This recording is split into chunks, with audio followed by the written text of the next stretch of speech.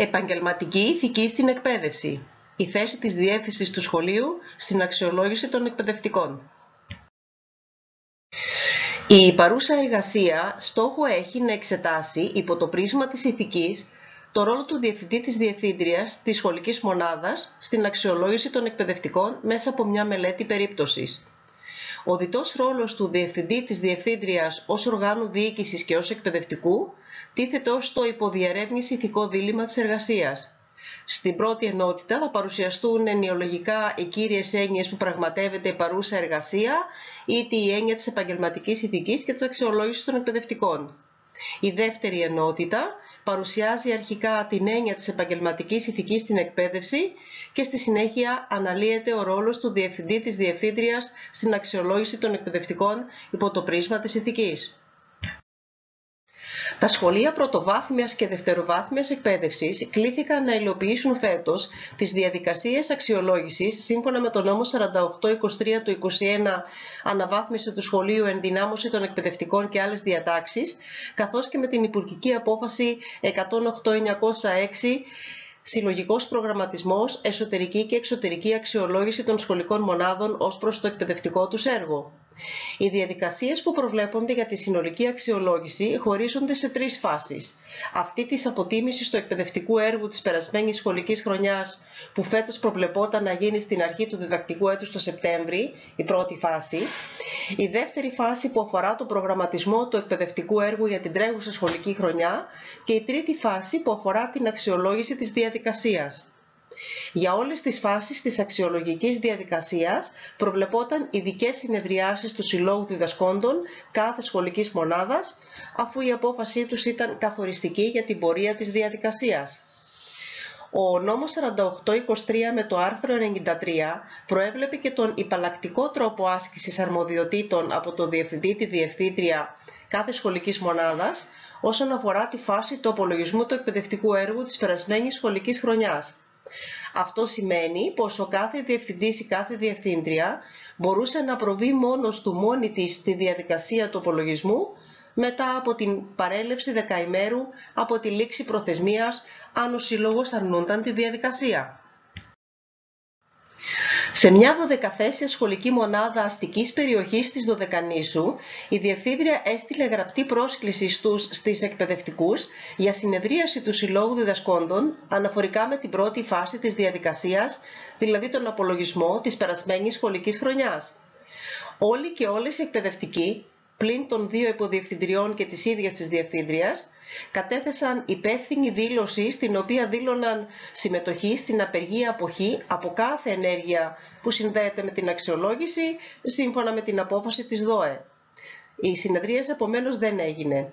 Η Διευθύντρια μετά την παρέλευση του δεκαημέρου έκανε χρήση του υπαλλακτικού τρόπου και διεκπαιρέωσε σε συνεργασία με τις δύο υποδιευθύντριες τη διαδικασία του απολογισμού Σημειωτέων ότι η Διευθύντρια είχε κάνει γνωστό από πριν στους, στις συναδέλφους συναδέλφισες του σχολείου την προσωπική της άποψη για την αξιολόγηση ήταν υπέρ, καθώς και το συνδυασμό της προσωπικής της τάσης απέναντι στις απειλές του Υπουργείου για τον αποκλεισμό από μελλοντικές διαδικασίες επιλογής τελεχών εκπαίδευσης όσων δεν συμμετέχουν στη διαδικασία αξιολόγησης. Στην επόμενη προβλεπόμενη συνεδρίαση, η οποία αφορούσε τη δεύτερη φάση της αξιολόγησης για τον προγραμματισμό της σχολικής μονάδας, η Διευθύντρια έστειλε πάλι τη σχετική πρόσκληση για συνεδρίαση του Συλλόγου Διδασκόντων, η οποία και πραγματοποιήθηκε. Η απεργία αποχή είχε κριθεί παράνομη και καταχρηστική.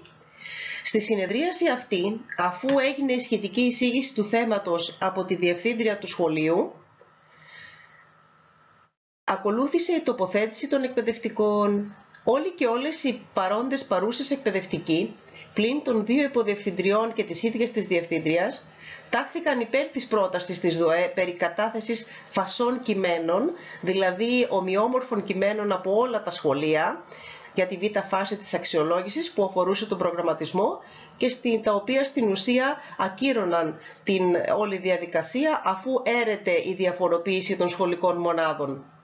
Η απόφαση της ΔΟΕ ήταν ενάντια στην αξιολόγηση με το σκεπτικό ότι αυτή δεν ήταν ουσιώδης αλλά έκρυβε πολιτικές κατευθύνσεις αφού σκόπευε σε κατηγοριοποίηση σχολείων, δεν λάμβανε υπόψη τις υλικοτεχνικές ελλείψεις των σχολείων, ούτε το έλλειμμα σε στελέχωση σχολικών μονάδων, ακόμα στόχευε και σε απολύσεις εκπαιδευτικών που θα αξιολογούνταν αρνητικά.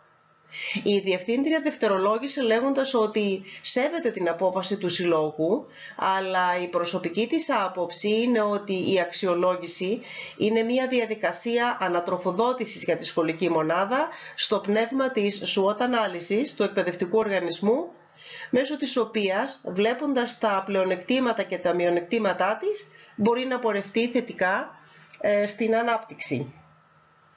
Επίσης δήλωσε ότι πιστεύει στο σημενόμενο και όχι στο σημαίνον της διαδικασίας, δηλαδή δεν πιστεύει σε θεωρίες συνωμοσίας του Υπουργείου Παιδείας όπως διατείνεται η ΔΟΕ.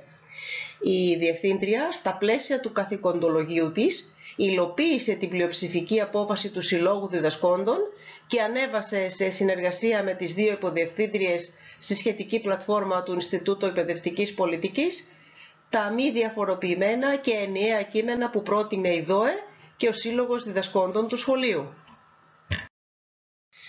Προχωράμε με τους ενιολογικούς προσδιορισμούς. Ξεκινάμε με την έννοια της επαγγελματικής ηθικής. Η επαγγελματική ηθική είναι ένας όρος που μπορεί να γίνει κατανοητός με διαφορετικούς τρόπους. Πρώτον, η επαγγελματική ηθική είναι ένας κώδικας αξιών και κανόνων που καθοδηγούν τις πρακτικές αποφάσεις των, όταν ε, λαμβάνονται από επαγγελματίες.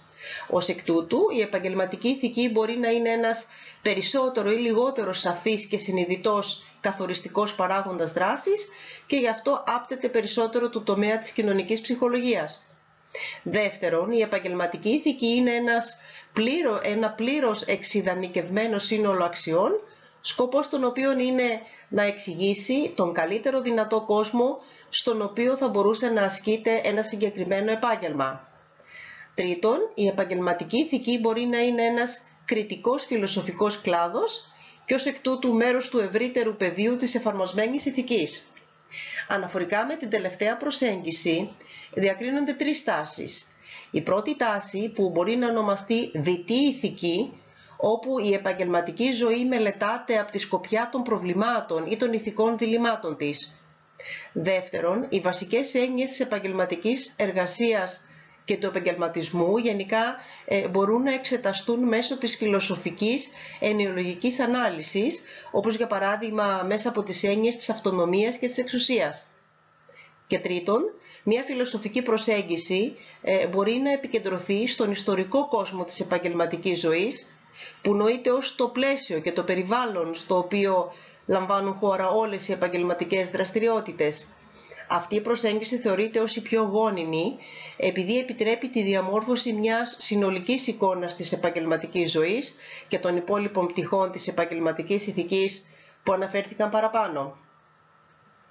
Ο Στίαρ στην προσπάθειά του να αποσαφηνίσει την ε, έννοια της επαγγελματικής ηθικής ε, μας δίνει το ακρονίμιο RIGHT με το R να σημαίνει rules, κανόνες. Τι λένε οι κανόνες δηλαδή, το I, integrity, ενέργεια με ακαιρεότητα, δηλαδή ενσωμάτωση των αξιών στις ενέργειες, το G, good, ποιον ή ποια οι πιθανοί τρόποι δράσης θα ωφελούσαν περισσότερο, H, harm, ποιον ή ποια οι πιθανοί τρόποι δράσης θα έβλαπταν περισσότερο, T, true, αλήθεια στη συμπεριφορά και στις ενέργειες.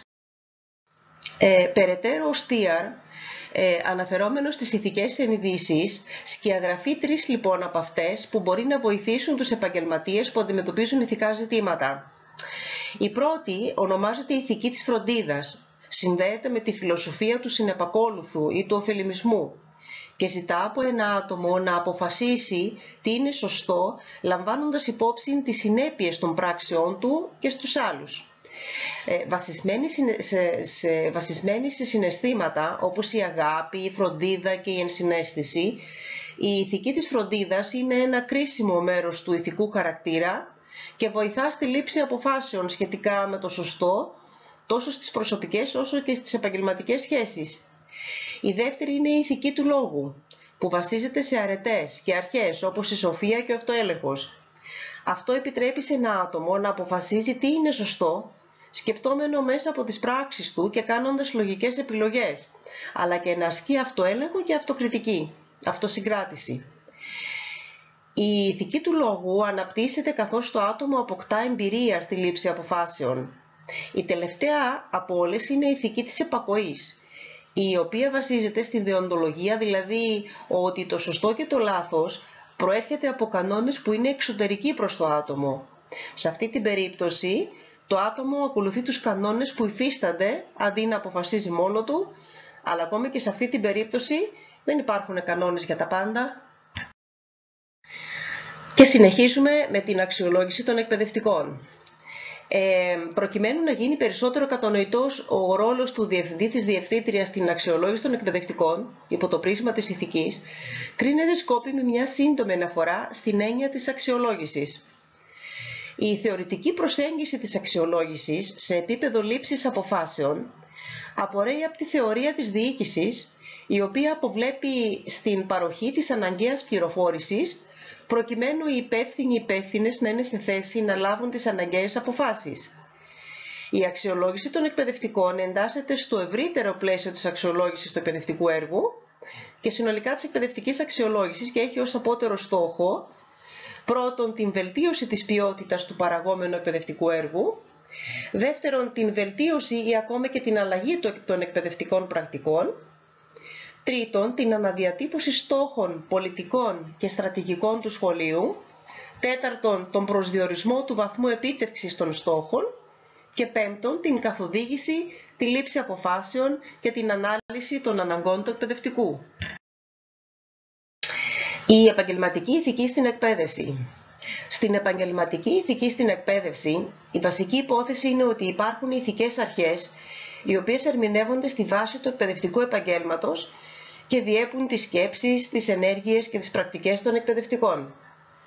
Ωστόσο, θα πρέπει να ληφθεί υπόψη και η περίπτωση όπου ένα σημείο εκπαιδευτικός ενεργεί στη βάση συγκεκριμένων λόγων που ενδέχεται να μην διέπουν το δικό του, το δικό της αξιακό σύστημα, αλλά την ηθική της εκπαίδευσης, στη βάση δεοντολογίας.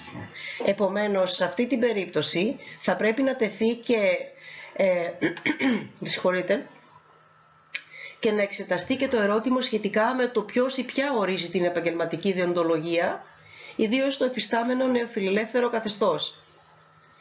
Σύμφωνα όμως με τα όσα προαναφέρθηκαν, η επαγγελματική ηθική είναι ένα πεδίο εφαρμοσμένης ηθικής, που σκοπός του είναι να ορίσει, να αποσαφηνίσει και να ασκήσει κριτική στην επαγγελματική εργασία και στις τυπικές αξίες της. Τα επαγγέλματα χαρακτηρίζονται κοινωνιολογικά μέσω της επιστημονικά τεκμηριωμένης τεχνογνωσίας των μελών τους. Από τη σκοπιά της φιλοσοφικής ηθικής, η επαγγελματική εργασία μπορεί να λεχθεί ότι ενσωματώνει δικαιώματα και υποχρεώσεις που είναι ιδιόμορφα σε κάθε επάγγελμα. Ε, επιπλέον, σύμφωνα με την κοινωνική ηθική του John Rawls, η επαγγελματική ηθική στο πλαίσιο της εκπαίδευσης συνδέεται και με συγκεκριμένες προσδοκίες που έχει η κοινωνία από τους εκπαιδευτικούς. Επιπρόσθετα, η επαγγελματική ηθική μπορεί να σχετίζεται με πρότυπα συμπεριφοράς που επιβάλλονται από κάποια ανώτερη εξουσία, αλλά και με πρότυπα συμπεριφοράς που διδάσκονται στους μαθητές και στις μαθήτριες. Ε, συνολικά, επομένως, οι ηθικές αρχές στην εκπαίδευση αποτελούν τη βάση της επαγγελματικής ηθικής και οι κανόνες και τα καθήκοντα αποτελούν τη βάση για τις ηθικές πράξεις των εκπαιδευτικών και των διευθυντών διευθυντριών. Τέλος θα μπορούσε η επαγγελματική ηθική να ειδωθεί διτά ε, είτε στατικά, συγχωρείτε, ε, είτε λοιπόν ως στατικά ε, που περιέχει αξίες είτε ως δυναμικά, ως μηχανισμός διαμόρφωσης και ενδυνάμωσης των ηθικών αξιών. Ο ρόλος του Διευθυντή της Διευθύντριας στην αξιολόγηση των εκπαιδευτικών υπό το πρίσμα της ηθικής. Υπάρχουν τρεις βασικές αρχές στην επαγγελματική ηθική των εκπαιδευτικών διευθυντών διευθυντριών. Ως επαγγελματίας, ένας εκπαιδευτικός είναι σε θέση να ομολογήσει ουσιαστικές πεπιθήσεις σχετικά με το νόημα και την αξία της εκπαίδευσης Επομένως, ο διευθυντής ή διευθύντρια έχει μια συγκεκριμένη φιλοσοφία εκπαίδευσης και αλληλεπιδρά με εκπαιδευτικούς που μπορεί να έχουν διαφορετικές ιδέες για το νόημα και την αξία της εκπαίδευσης. Επίσης, ως επαγγελματίας ένας ή μια ε, διευθυντής διευθύντρια είναι σε θέση να ασκεί ηθική και επαγγελματική κρίση από τη θέση ευθύνης του ευθύνης της, ιδίως στα πλαίσια λήψης αποφάσεων. Τρίτον, ως επαγγελματίας, ένας διευθυντής, μια διευθύντρια, θα πρέπει να εστιάζει στη λογοδοσία. Ε, υπάρχουν κοινές προκλήσεις πολιτικής στην αξιολόγηση των εκπαιδευτικών. Αυτές είναι πρώτον ο συνδυασμός των λειτουργιών βελτίωσης και λογοδοσίας της αξιολόγησης των εκπαιδευτικών, δεύτερον η καταμέτρηση των αποτελεσμάτων των εκπαιδευόμενων στην αξιολόγηση των εκπαιδευτικών και τρίτον η χρησιμοποίηση των αποτελεσμάτων αξιολόγησης των εκπαιδευτικών για να διαμορφώσουν κίνητρα για τους ίδιους τις ίδιες. Περαιτέρω προκλήσεις στην αξιολόγηση των εκπαιδευτικών είναι η αντίσταση από μέρους των τελευταίων και οι διαφορετικές αντιλήψεις που μπορεί να υπάρχουν μεταξύ εκπαιδευτικών και διευθυντών διευθυντριών.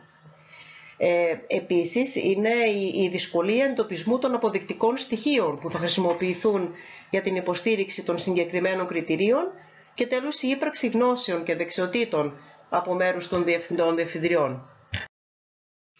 Ε, επιπρόσθετα, η αξιολόγηση των εκπαιδευτικών θα πρέπει να εδωθεί και ε, ως ένα κοινωνικό ιδεολογικό, από ένα κοινωνικό ε, ιδεολογικό επίπεδο όπου η αξιολόγηση μπορεί να εδωθεί και ως εργαλείο πολιτικού ελέγχου των εκπαιδευτικών, άρα δεν είναι μια ουδέτερη διαδικασία.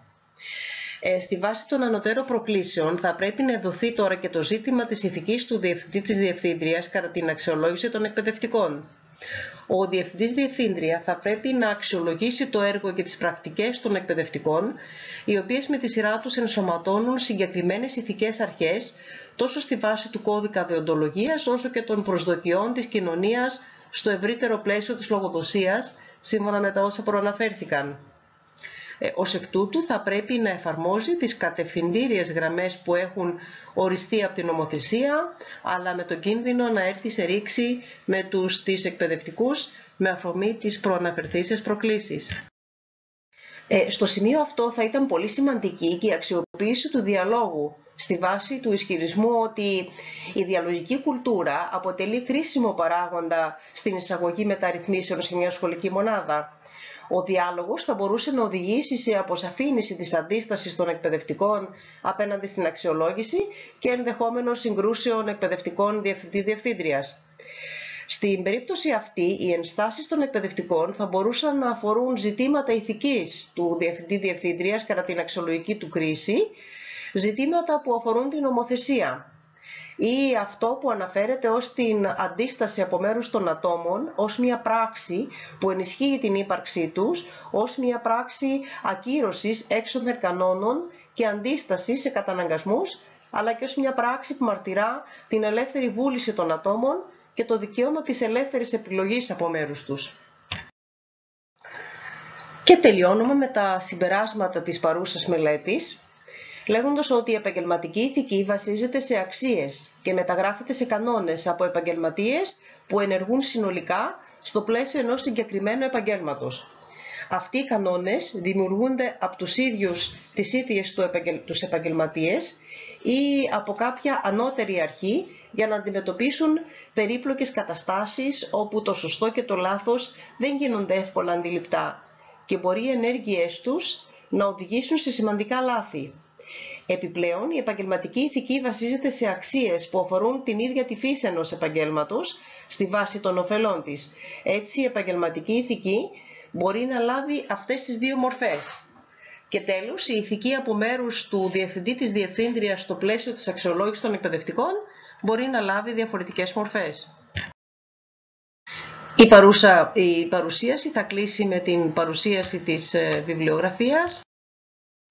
Να σας ευχαριστήσω για την προσοχή σας και να ζητήσω συγγνώμη για κάποιες παρεμβολές, αλλά είμαι σε κατάσταση COVID, οπότε καταλαβαίνετε. Να είστε καλά, καλή συνέχεια.